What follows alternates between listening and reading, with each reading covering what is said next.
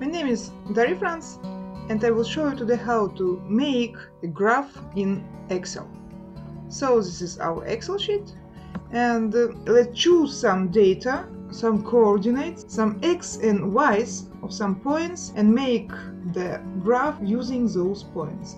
Okay, let it be for example x and this is y and let us try to make parabola for example our x will be minus 5 minus 4 minus 3 minus 2 minus 1 0 and 1 3 4 5 and our y's are 25 16 9 4 1 zeros and 1 4 9 16 25 so we have function y equals x squared and let's make this parabola. Uh, go to insert we are in insert already. Go to charts and choose this insert line and the first option. Now click on right click on your mouse and click on select data. And we have uh, to insert our y's and our x's here. Add uh, here will be the name of our graph. Let it be the square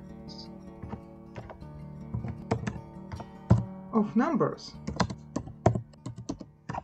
And here you have to delete everything written and to click on the first number in this column of y's and hold it and drag it and now press OK. The same with x's. Click on it first, hold it and press OK.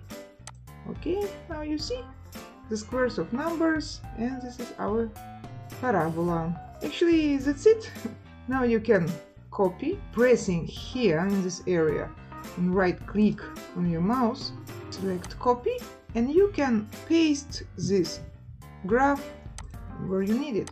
For example, in your Word sheet or in Photoshop or wherever you want.